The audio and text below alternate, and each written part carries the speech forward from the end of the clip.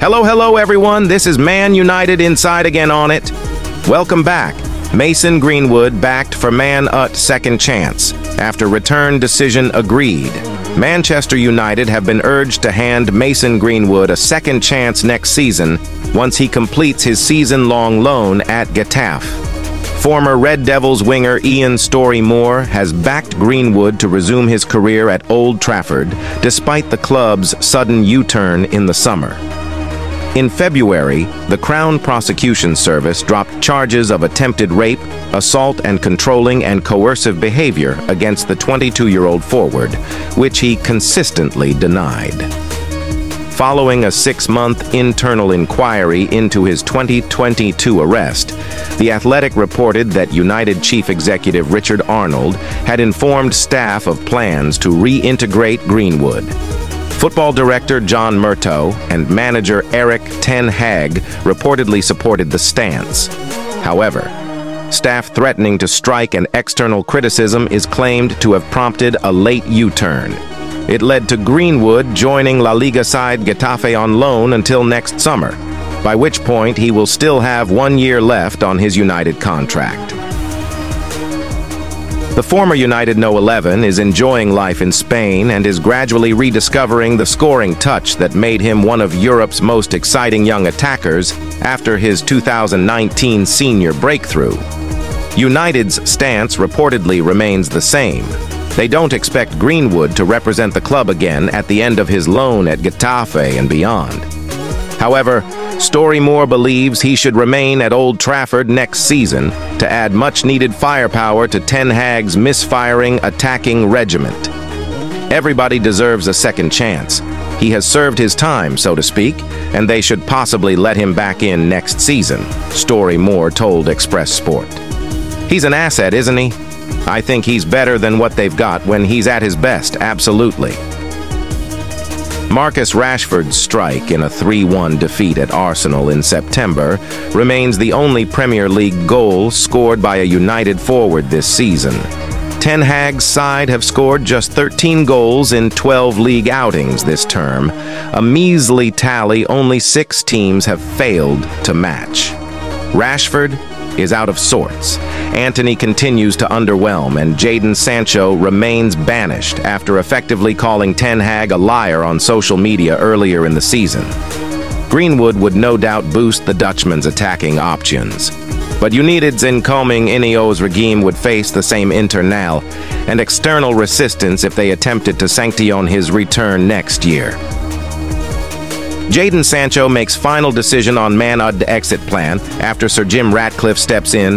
Manchester United forward Jadon Sancho is unlikely to entertain transfer interest from Saudi Arabia, but it's still possible he could be sold once Sir Jim Ratcliffe takes charge.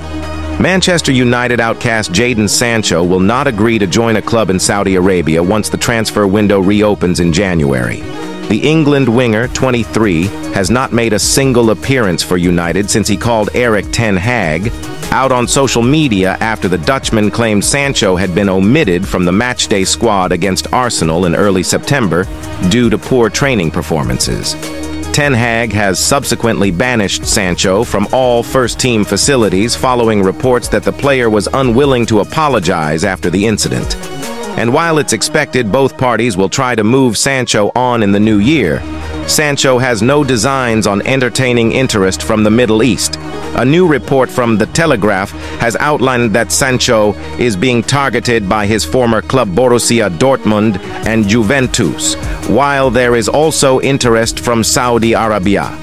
His preference, though, is to continue his career in Europe rather than joining the Saudi Pro League.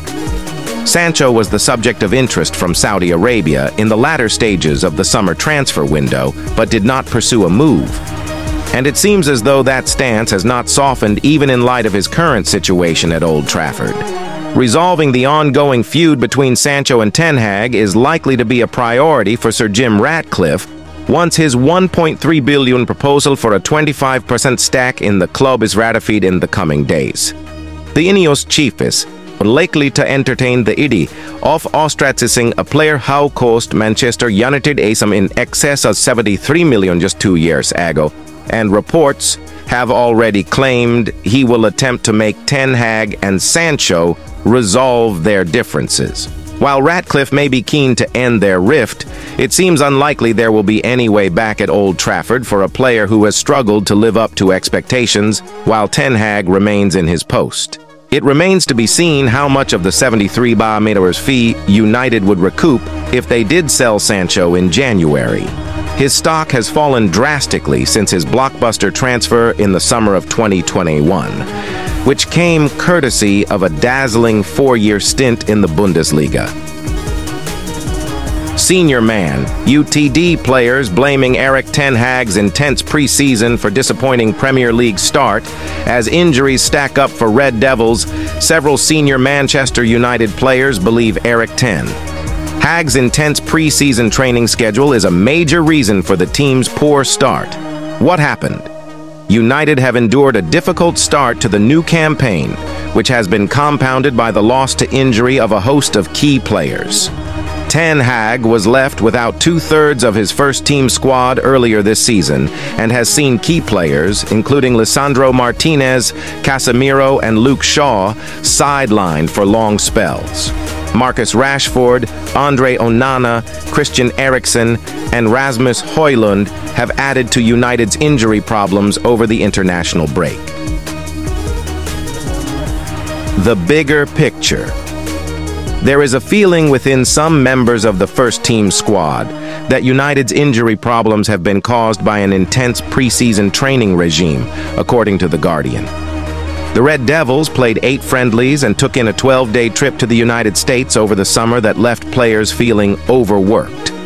Senior stars have complained about feeling as tired at the start of the season as they did at the end of the last campaign.